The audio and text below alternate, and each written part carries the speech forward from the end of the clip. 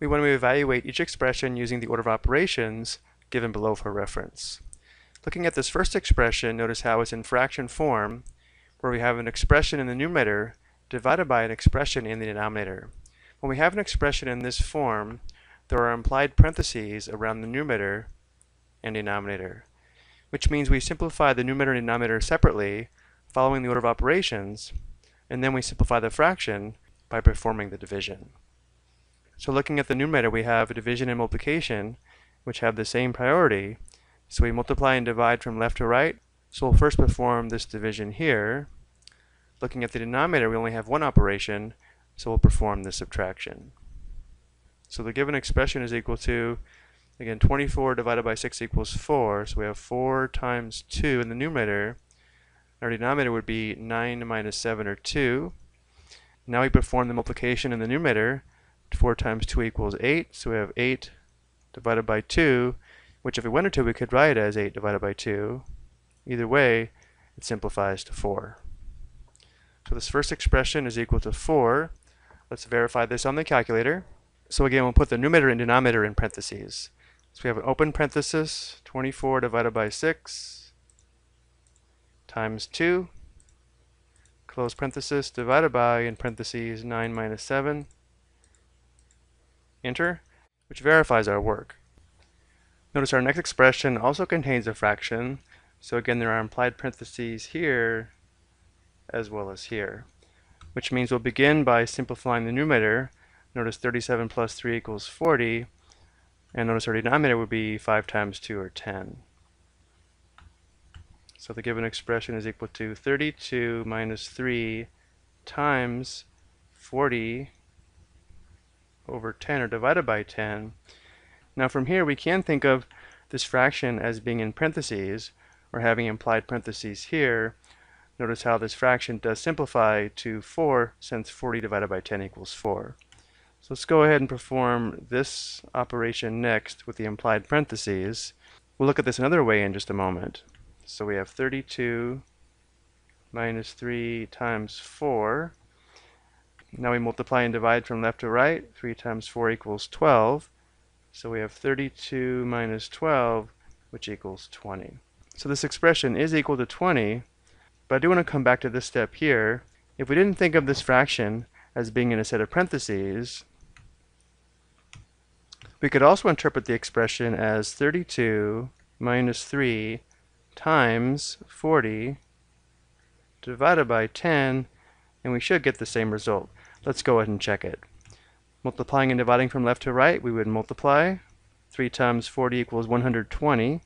So we have 32 minus 120 divided by 10. Again, multiplying and dividing from left to right, we perform this division. 120 divided by 10 equals 12. 32 minus 12 equals 20. So of course the result is the same. Now let's check this on the calculator. So we have 32 minus 3 times open parenthesis 37 plus 3 close parenthesis divided by open parenthesis 5 times 2 close parenthesis and enter. Now I do want to mention the way we type this in the calculator interpreted as we did here on the left. If we wanted the calculator to interpret it as we did here in blue we need another set of parentheses around the fraction. So let's go ahead and show that as well. I'm going to press second enter, which brings up the last entry, which we can now edit. So we'll go to the left here and insert another open parenthesis. So second, insert open parenthesis, go to the far right, another close parenthesis here, enter, and the result is the same. Let's go to our next expression. We have another fraction, so there's implied parentheses here, as well as here. So in our first step, notice that 8 minus 4 is equal to 4. And 4 minus 2 equals 2. This is all cubed. Inside the parentheses, we have 4 divided by 2, which equals 2. 2 cubed is equal to 2 times 2 times 2, which equals 8. Our expression is equal to 8. Checking on the calculator, we have open parenthesis, open parenthesis for the numerator, so 8 minus 4, close parenthesis for the numerator divided by open parenthesis 4 minus 2 close parenthesis for the denominator close parenthesis for the outer parentheses and then raised to the third power equals 8. And now for our last expression, again we have another fraction, so we'll simplify the numerator and simplify the denominator. So we would have 12 plus 4 times 6 minus 6 plus 4 is 10 divided by 3 minus 1 equals 2 so squared. And notice how 10 divided by 2 equals 5 so we'll simplify here inside the parentheses. So we have 12 plus 4 times 6 minus 5 squared Next step is to simplify the exponents. 5 squared equals 25. So we have 12 plus 4 times 6 minus 25. Step 3, simplify multiplication and division from left to right. Here we have multiplication.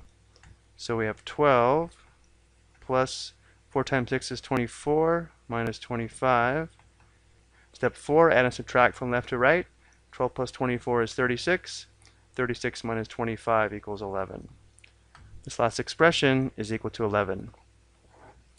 Checking on the calculator, let's go ahead and clear this. We have 12 plus 4 times 6 minus open parenthesis for the fraction, open parenthesis for the numerator, so we have 6 plus 4, close parenthesis for the numerator, divided by our denominator in parentheses of 3 minus 1, another close parenthesis for the fraction, and this is squared, and enter.